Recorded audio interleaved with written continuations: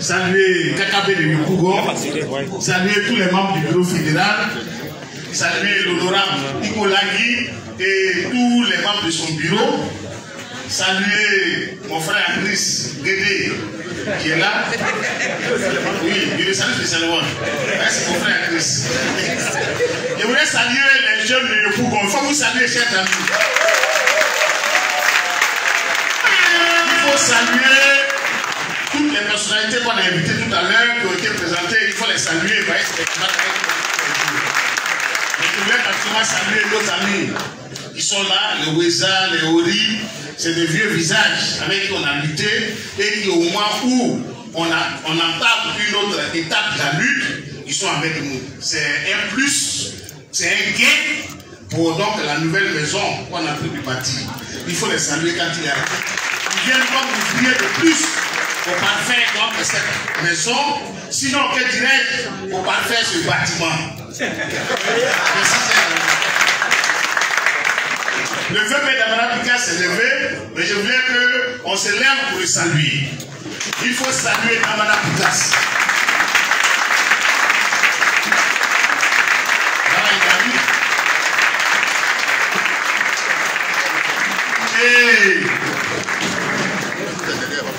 Son arrivée vraiment nous donne une bouffée d'oxygène. À temps, vous ne voyez pas trop le bâtiment, mais celui qui a fait le bâtiment est là. C'est simple, non? Il faut saluer Damana Pikas. Voyez le propriétaire du bâtiment là. Un bâtiment solide qui était là avec vous depuis 2011.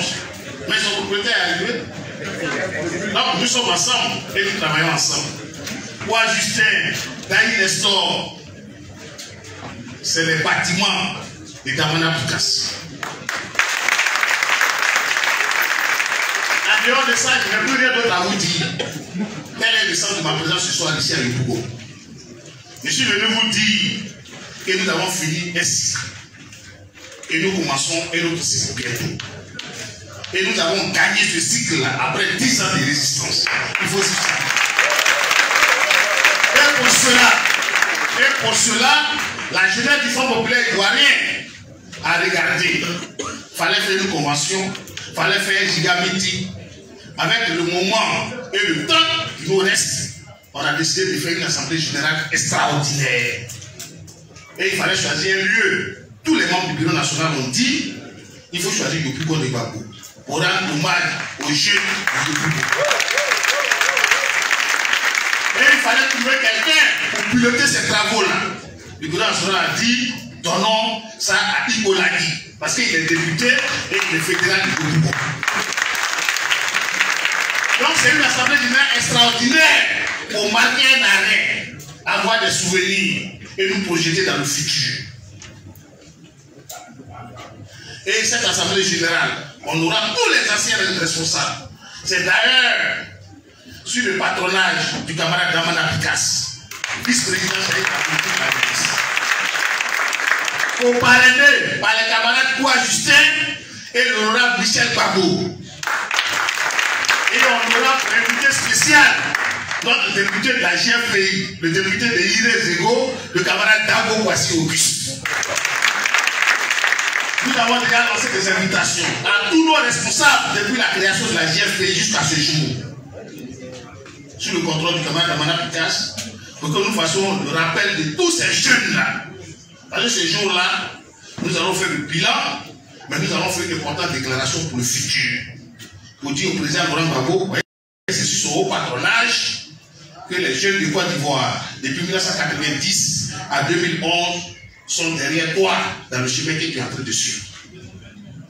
De 2090 à 2021, toutes ces générations unies sont derrière toi dans le chemin que tu voudras bien nous tracer dans les mois venir. Voilà donc le sens de cette assemblée générale. C'est pourquoi j'appelle tous les responsables, les militants de base, les secrétaires de section, de Yopougon, mais d'ailleurs de toutes les autres fédérations de Côte d'Ivoire, pour que ce jour-là, on vienne savourer notre victoire de la première étape et nous réengager pour gagner la deuxième étape. Voilà donc le message de nos supporters. Que Dieu bénisse ces assises. Pour l'actualité du moment, le VP est là. Donc, euh, je ne vais même pas aborder ça. Et je vais vous dire qu'allez-y partout, dites que le 11, les jeunes de Côte d'Ivoire se retrouvent autour du Babo Laurent, autour de Damana Picasso, pour se projeter dans l'avenir. Tel est le message que je suis porteur et je vous remercie. Il faut ovationner le bâtiment il a dit tantôt. L'Assemblée générale extraordinaire se tiendra à Le Bougon Asto le 11 septembre 2021 à Yopougon Asto.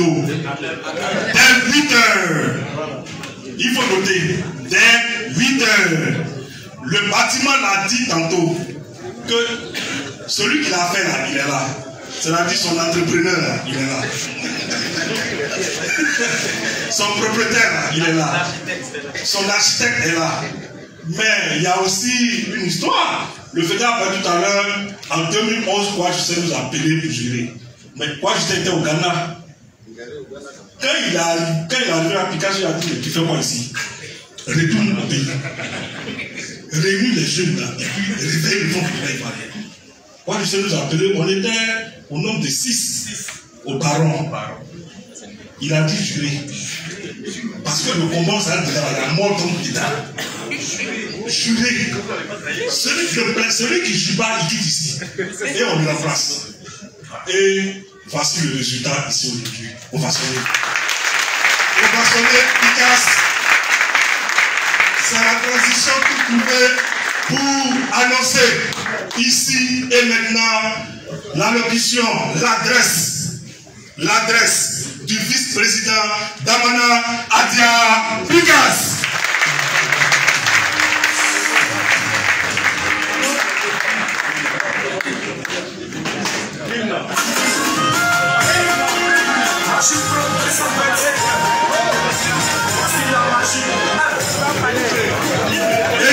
Élisée, l'hymne du parti.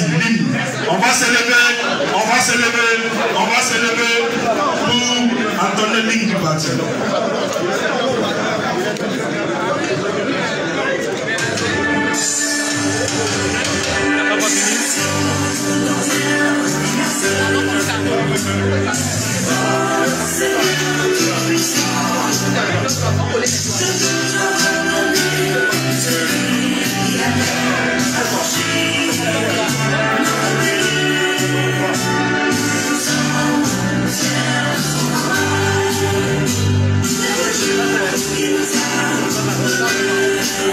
Toca comigo.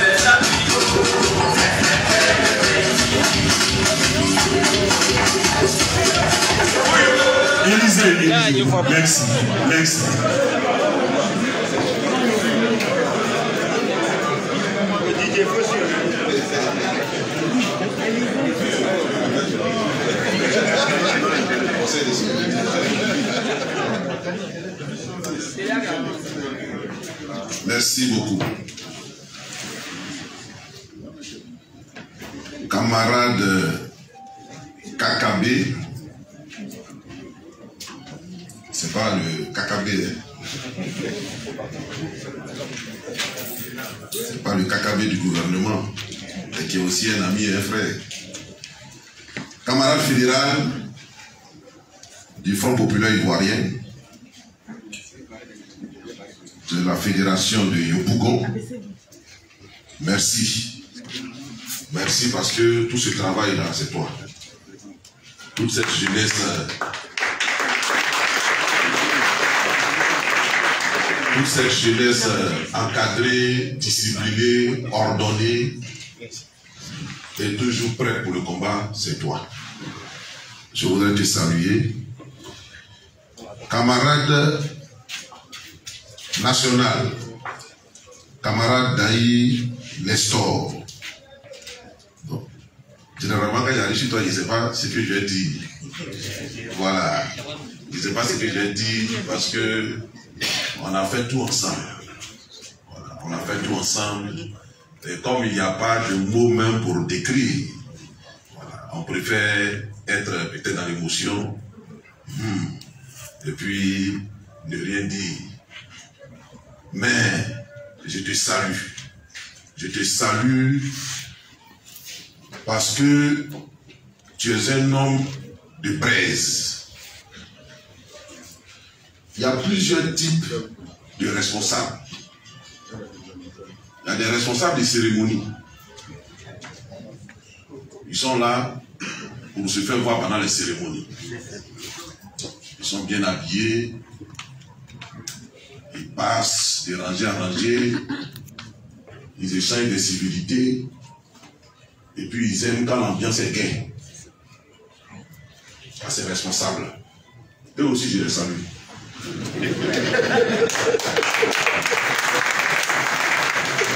Et puis, il y a des responsables, quand tu les vois,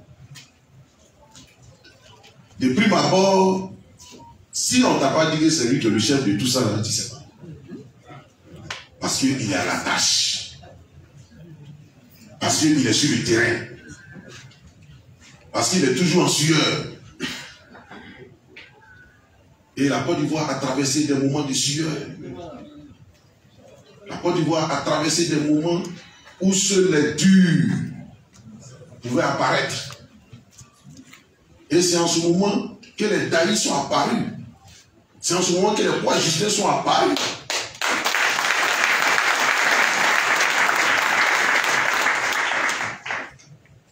On n'est pas allé les chercher. On n'est pas allé les chercher. Parce qu'en pareille circonstance, quand tu vas chercher quelqu'un, à la limite là, il te demande, mais qu'est-ce que je t'ai fait? Pourquoi c'est maintenant là? Avec tout ce qui se passe, pourquoi c'est maintenant tu viens me chercher? Voilà.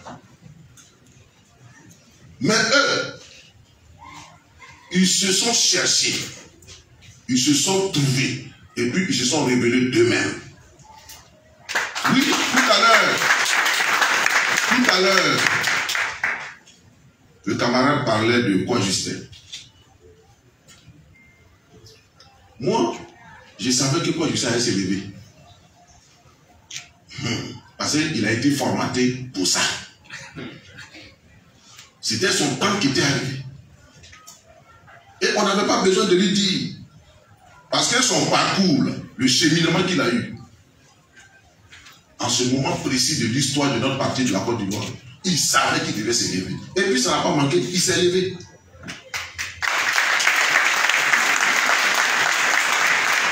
Il s'est levé avec les Daïs,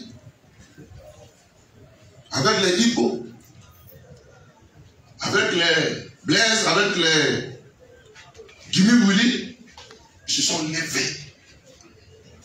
Et puis ils ont dit non.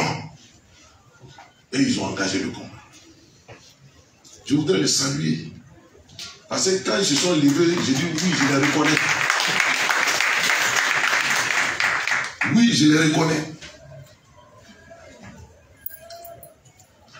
Camarade Ibola, Ibolagi, la fédération de Yopougon, je la connais. Mais je la connais jusque dans sa profondeur. Et Yopougon, c'est Yopougon. Yopougon n'a pas la même façon d'applaudir que tous les autres. Yopougon n'a pas la même façon de rire que tous les autres. Yopougon n'a pas la même façon aussi de se fâcher comme tous les autres. Quand Yopougon est en colère, on se dit attention, Abidjan est en colère.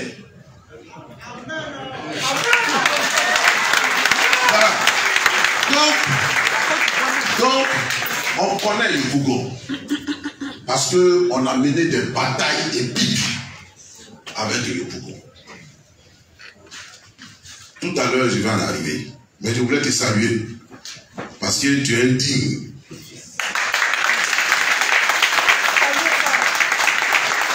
Les gens pensent que les, choses sont au hasard. Les choses ne se font pas au hasard. hein. Les gens ne viennent pas d'apparaître. Les gens ne sont pas tombés comme un cheveu sous la soupe. C'est pourquoi il faut respecter ceux qui ont du chemin.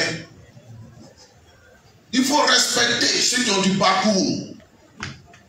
Parce que pour arriver là, il faut avoir du parcours. Il faut avoir de la personnalité. Et il faut avoir des valeurs. Sinon, tu n'arrives pas là où il est. Donc, il est arrivé là. Il mérite notre respect et nos salutations.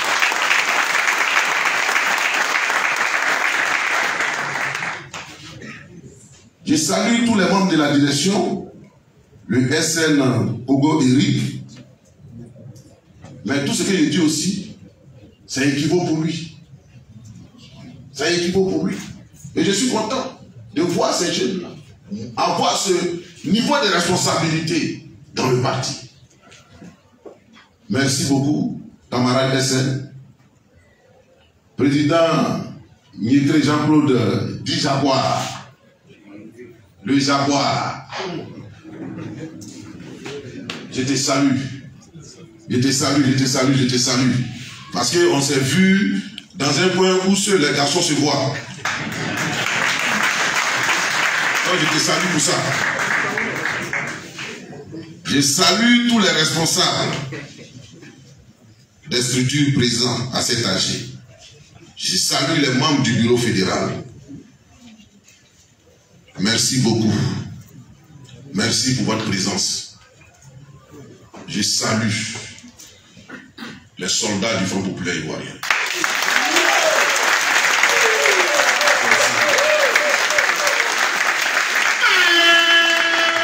Ce dont le président ne cesse de parler avec admiration. Je vous salue.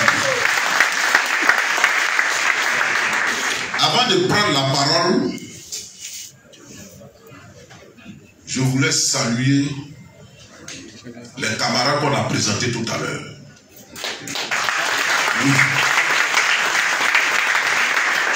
Mais en les saluant, vous, je vous salue doublement.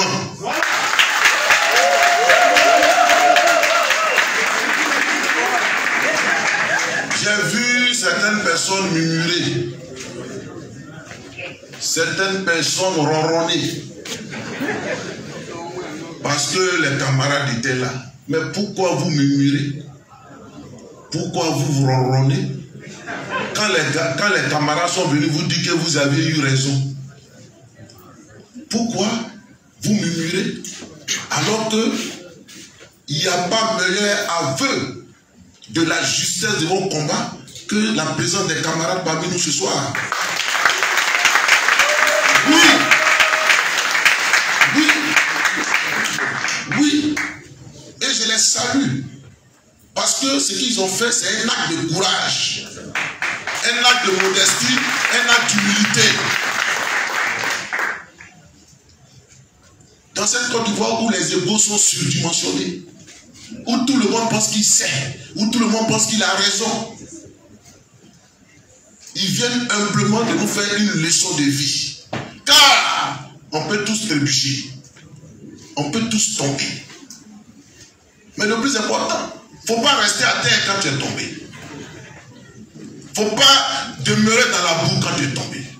Le plus important, c'est de savoir se relever quand on est tombé. Et ils se sont, ils se sont tellement bien relevés qu'en principe, on devrait organiser, comme dans le cas du retour de, l'enfant produit, une fête pour le recevoir.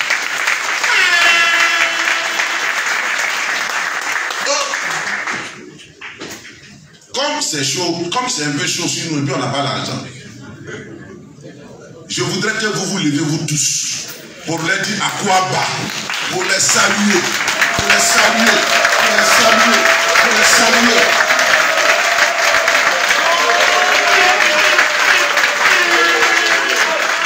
Merci beaucoup. Merci, chers amis. Merci beaucoup. Vous avez bien fait de venir et sachez que vous allez, vous avez toute votre place dans la maison.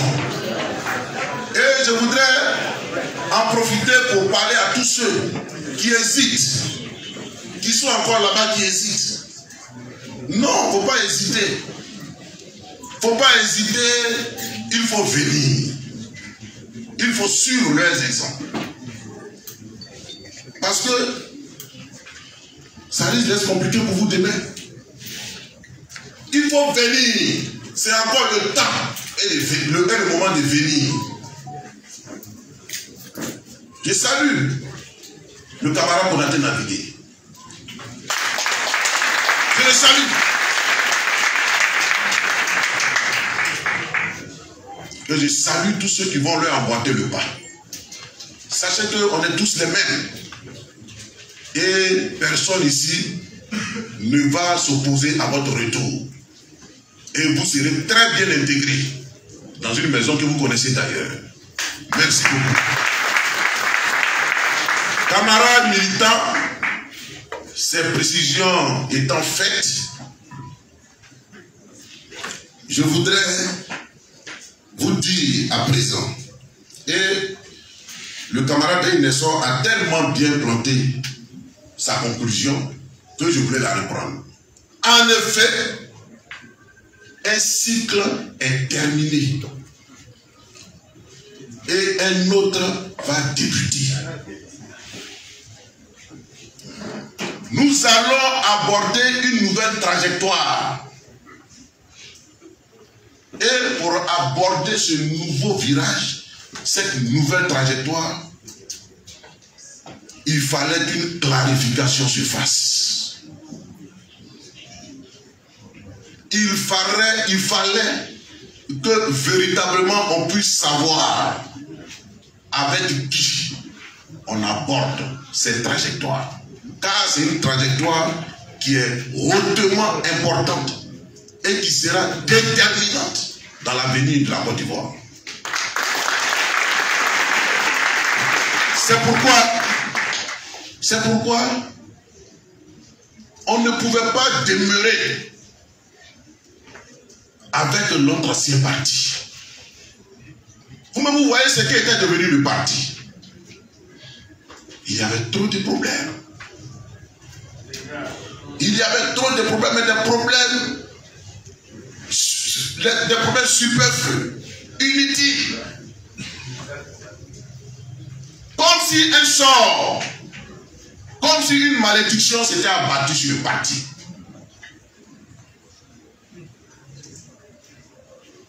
Et on ne se retrouvait plus. Des querelles sur des querelles. Des, affrontements sur des affrontements. Des diffamations sur des diffamations. Des, clans se forment. Et puis, on a fini par oublier la contradiction principale. On a commencé à nous entretuer, à nous entretiger entre nous. On ne pouvait pas continuer avec ça. Mais heureusement que tout cela s'est passé en l'absence du chef, en l'absence du patron. Il est venu, il est revenu après la bataille que vous connaissez. Mais on ne revient pas d'une telle bataille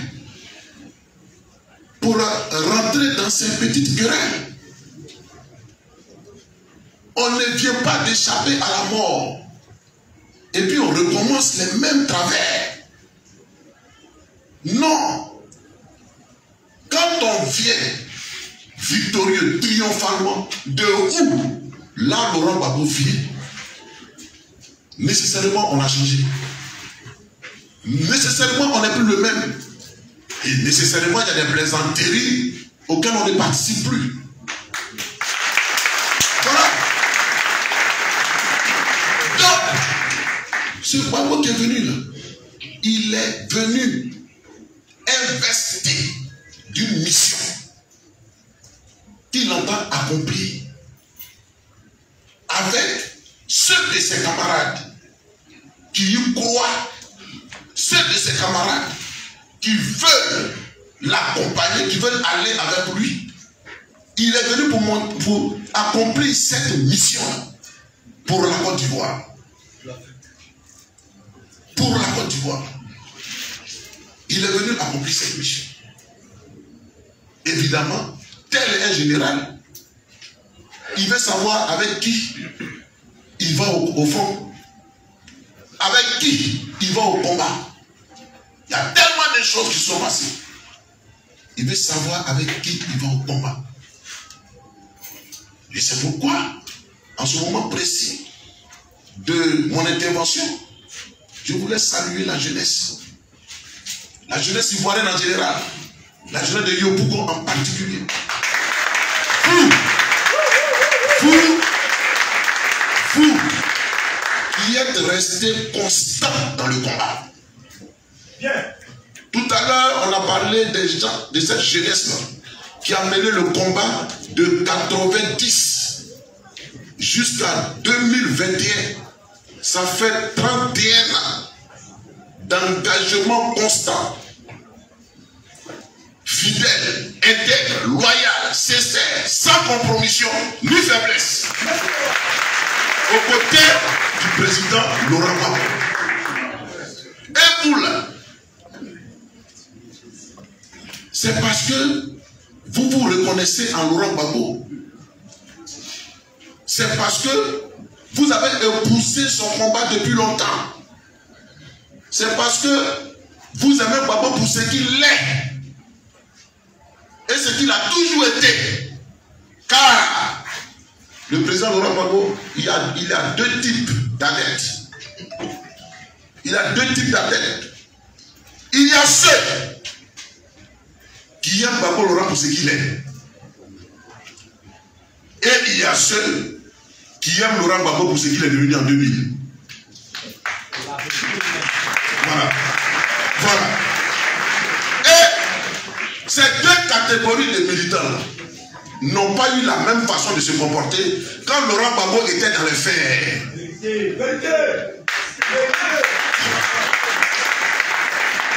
Ceux comme vous, comme moi, comme tous ceux qui sont là, qui ont épousé le combat de Laurent Gbagbo par ce qu'il est. C'est-à-dire, ceux qui aiment Laurent Gbagbo, pas parce qu'il est devenu président, mais qui ont, commencé à le suivre depuis 90, alors même que personne ne croyait en lui. Ceux-là, c'est eux qui n'ont pas faibli durant tout ce temps. Parce que pour eux, que Papa Laurent soit président, qu'il ne soit pas président, ça ne change rien à l'amour qu'il lui porte. Ça ne change rien à ce qu'il Voilà. Voilà. Donc pour nous là, Papa Laurent n'a pas changé. C'est le même. C'est le même pour nous. Et puis il y a ceux qui sont, qui sont venus sur Laurent Gbagbo à cause de ce qu'il est devenu en 2000. À cause de ce qu'il est devenu en 2000. S'il vous plaît, s'il vous plaît. Écoutez très bien ce qu'il dire. Écoutez très bien. Parce que là où on s'en va là, là où on, la, la, la trajectoire qu'on va prendre, il faut comprendre exactement là où on va. Parce que là où il y a des débats qu'on va plus mener. Donc écoutez très bien. Les plaisantins, ils vont nous laisser ici. C'est tout. Les opportunistes, ils vont nous laisser ici.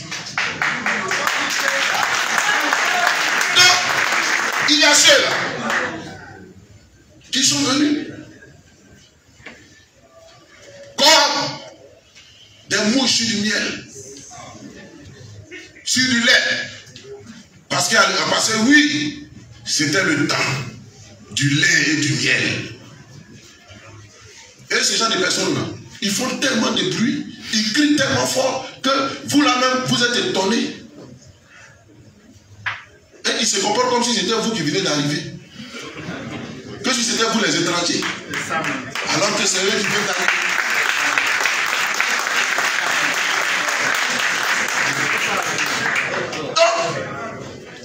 Mercenaires, des mercenaires, effectivement, quand l'objet de leur présence parmi nous n'existe plus, ils changent de langage, ils changent d'attitude, ils changent de discours. Et donc, quand arrive l'hécatombe en 2011, vous, ça ne vous impressionne pas? Parce que vous n'êtes pas venu derrière Babo parce qu'il est devenu président. Mais ceux qui sont devenus derrière Babo parce qu'il est devenu président, ils changent parce qu'ils n'ont plus de raison d'être là. D'être là. Mais on est d'avoir le courage de nous laisser tranquilles. Ils partent sans partir. Et puis ils embrouillent le réseau. Ils embrouillent le réseau.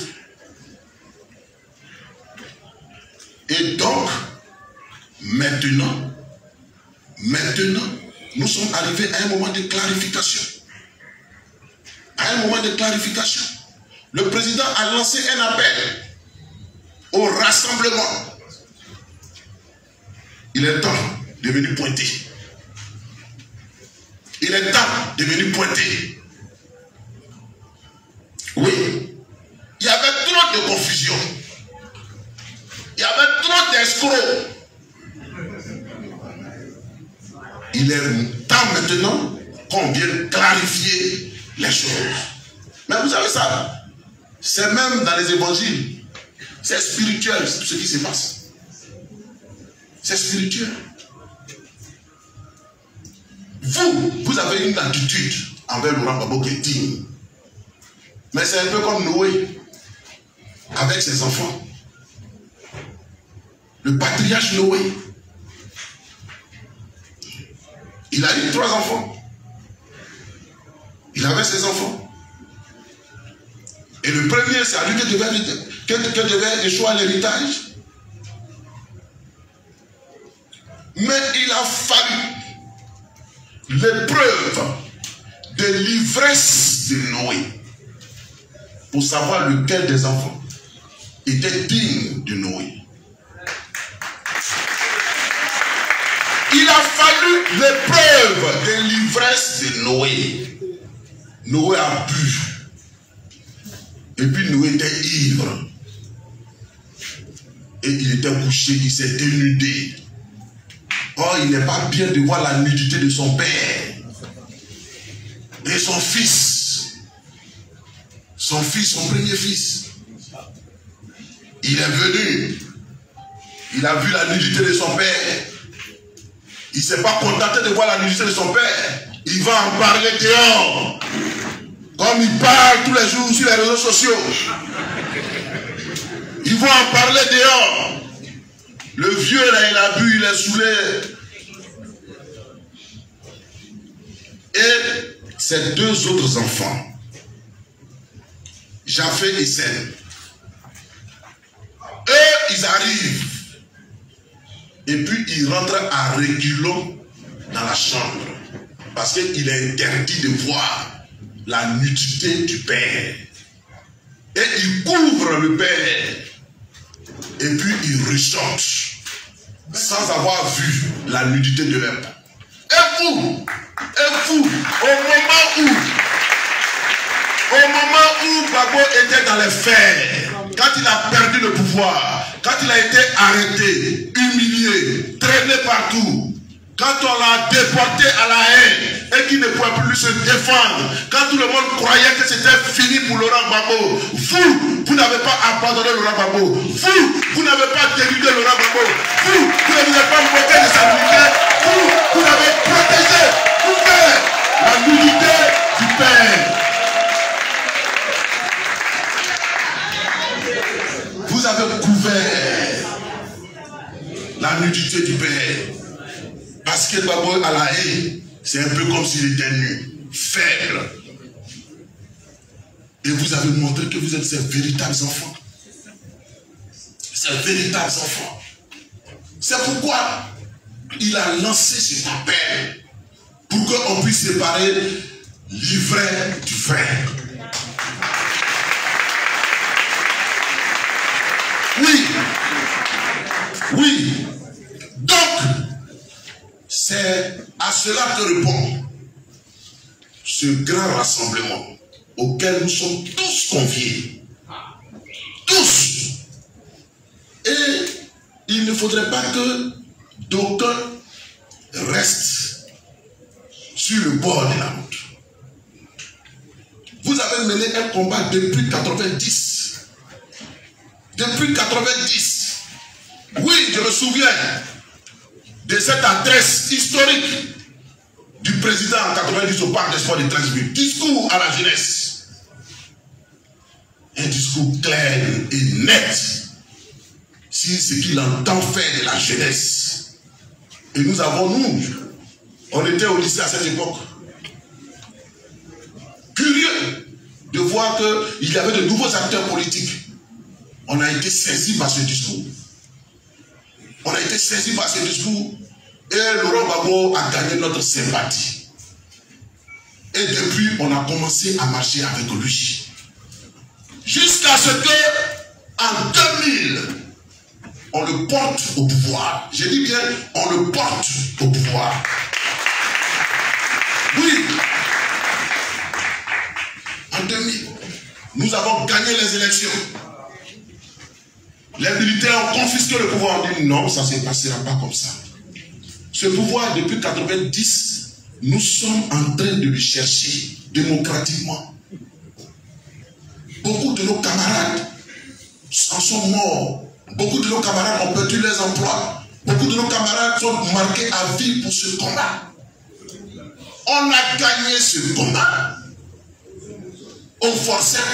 Et les militaires veulent nous confisquer notre victoire. Autant mourir avec les militaires.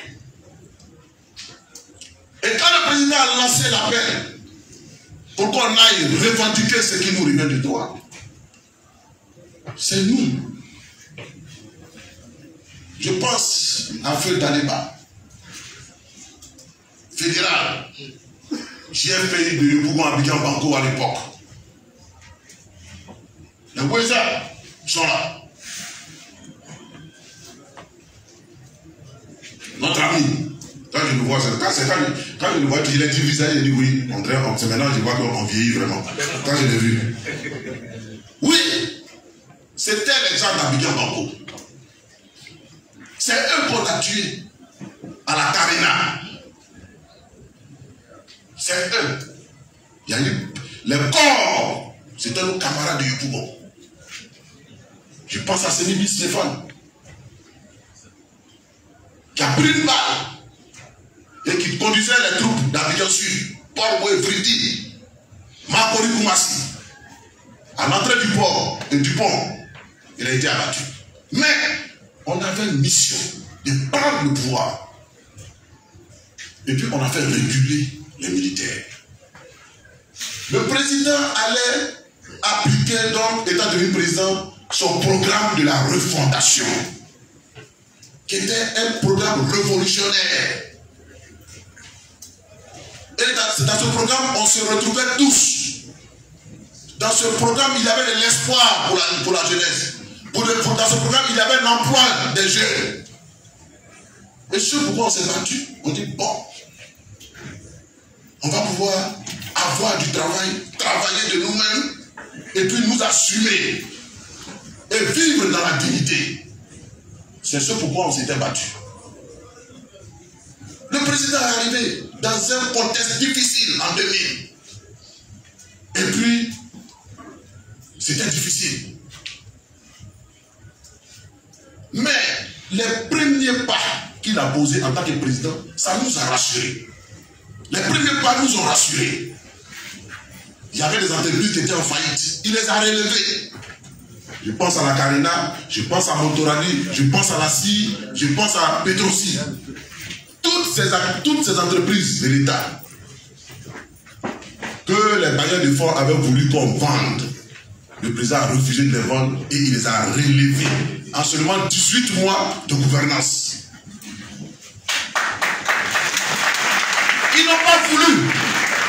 Ils n'ont pas voulu lui laisser le temps de dérouler. Il leur a demandé un peu d'argent pour euh, terminer l'année budgétaire de 2000, de 2000, parce que les militaires avaient foutu toutes les caisses en l'air. Les gens ont refusé. Ils ont conditionné cela. C'est-à-dire, avant qu'on te donne cet appui budgétaire, il faut que dans ton programme de refondation, tu abandonnes la réforme de la filière café-cacao. Tu abandonnes la politique de l'assurance maladie. Tu abandonnes la décentralisation. Tu abandonnes tout ce qui fait l'essence d'un parti socialiste. Naturellement, je ne vais pas vous donner la réponse du président parce que vous la connaissez. C'était non. Et donc, il a dit à Bon après, on va vivre sur nos propres ressources. Faites un budget serré, sécurisé. Et l'État va vivre sur ses propres ressources.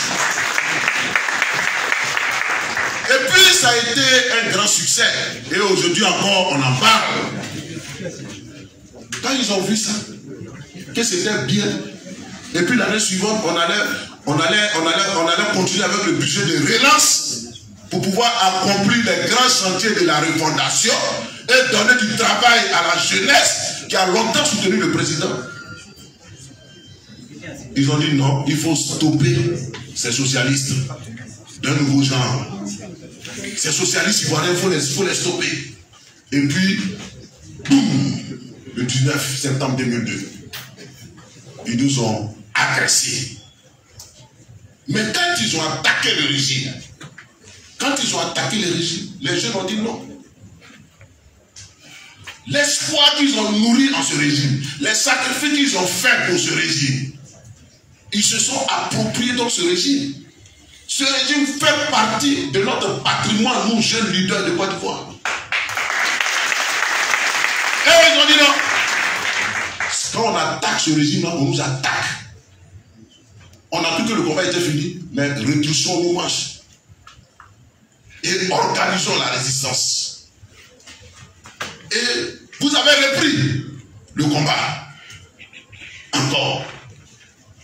Contre la rébellion, contre les rebelles. Ce combat a permis de stabiliser la Côte d'Ivoire.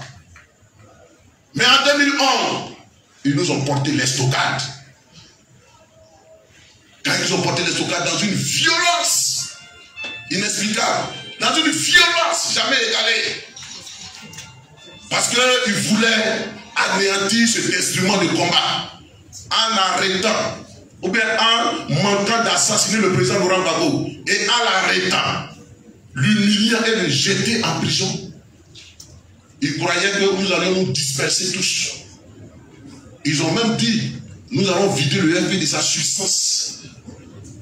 Et la charge que nous ont portée, les coups que nous avons reçus en 2011, si on n'est pas FPI, on ne résiste pas à ça.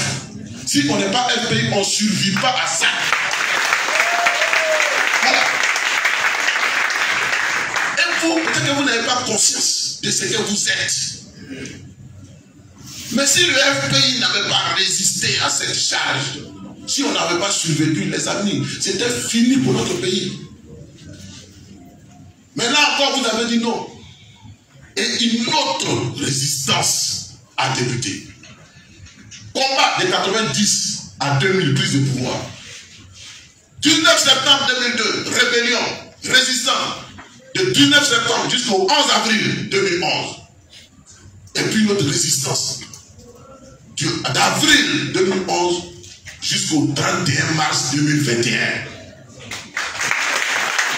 Voilà. Et ça, vous avez toujours été là, à la pointe de ce combat.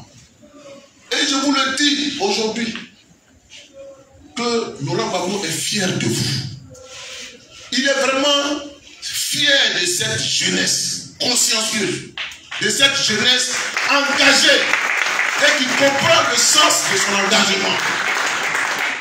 Il y a certaines personnes qui veulent prostituer, dénaturer la valeur de ce combat en disant qu'on le fait pour Laurent Gbagbo.